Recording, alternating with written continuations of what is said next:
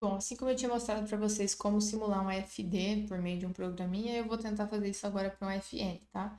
E aí a gente vai perceber como é bem mais complicado, uh, ou mais, melhor, mais custoso simular um AFN do que um AFD, tá? Basicamente porque a gente não consegue simular um AFN com a definição dele, né? Daquela. Aquilo que eu falei lá no começo, né? Que você cria várias cópias, né? Pode ser que você esteja criando um número tão grande de cópias que você não vai ter memória aqui para o suficiente para manter cada uma delas. Na hora de simular um AFN, o que a gente basicamente vai fazer é criar aquele AFD correspondente, que a gente já viu o algoritmo para fazer a transformação, e o AFD a gente sabe simular bem, porque a gente só tem um estado ativo, tá? Então a primeira coisa que a gente vai precisar é de uma função que devolva para a gente o epsilon fechamento de um certo conjunto de estados, tá?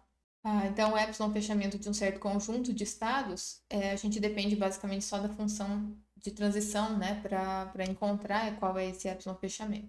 É, certamente, cada um desses estados pertence ao próprio epsilon fechamento. Então, eu vou iniciar nosso conjunto S, que vai ser o que eu quero devolver no fim.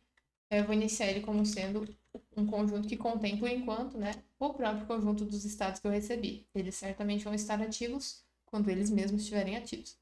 E agora, para cada um desses estados, eu preciso seguir por transições epsilon que saiam deles, né?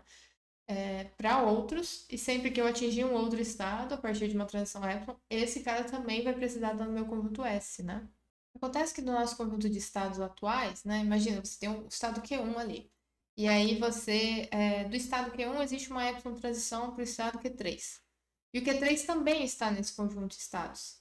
É, então, não tem por que eu adicionar o Q3 novamente ali, né? E, então, a gente, uma coisa um pouco mais esperta de se fazer aqui, a gente vai manter um conjunto dos estados que a gente ainda não, não explorou, digamos assim, né? Então, todos os estados que eu ainda não olhei para ver se realmente saem uma epsilon transição deles, é, vão estar nesse conjunto aqui. E agora sim, né? Enquanto tiver alguma coisa ali nesses não explorados, eu pego um desses estados.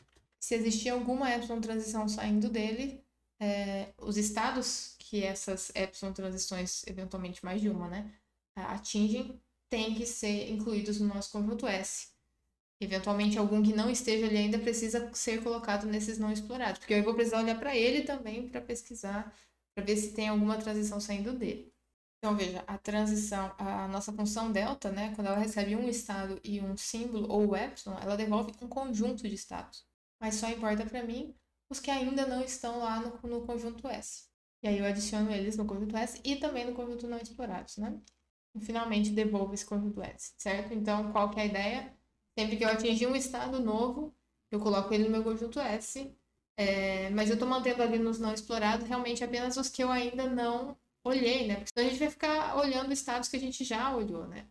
Para cada estado novo que eu ainda não explorei, eu tento verificar se tem é, transição delta saindo transição epsilon, né, saindo desse estado. Bom, agora com essa função a gente consegue fazer a nossa função para o fn, certo?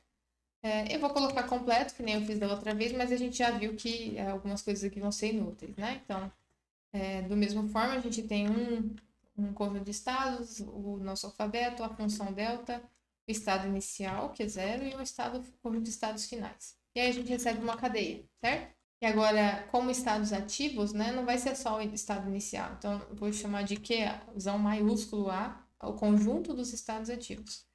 É, que, como a gente viu, né, é o epsilon fechamento do estado inicial, é, passando aí, então, no nosso, no nosso caso, né, também a função de transição.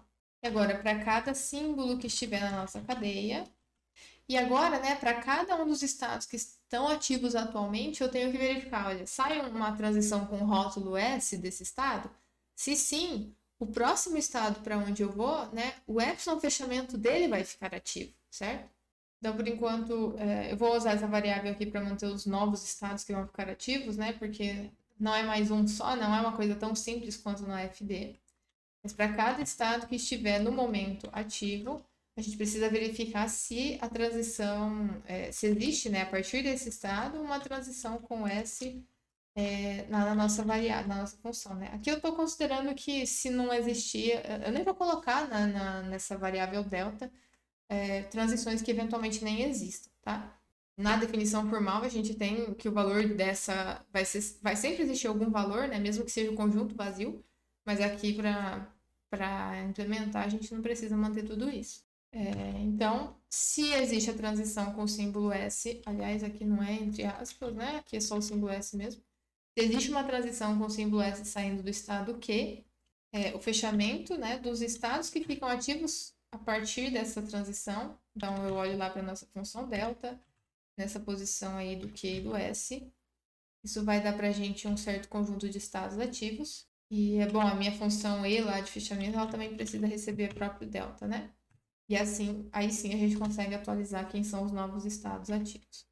Uma vez que eu faço isso para todos os estados, é, meu conjunto de estados ativos passa a ser esses novos estados aí. E bom, terminei a minha cadeia, né? Então agora eu preciso tomar uma decisão, é listar ou não na linguagem, né?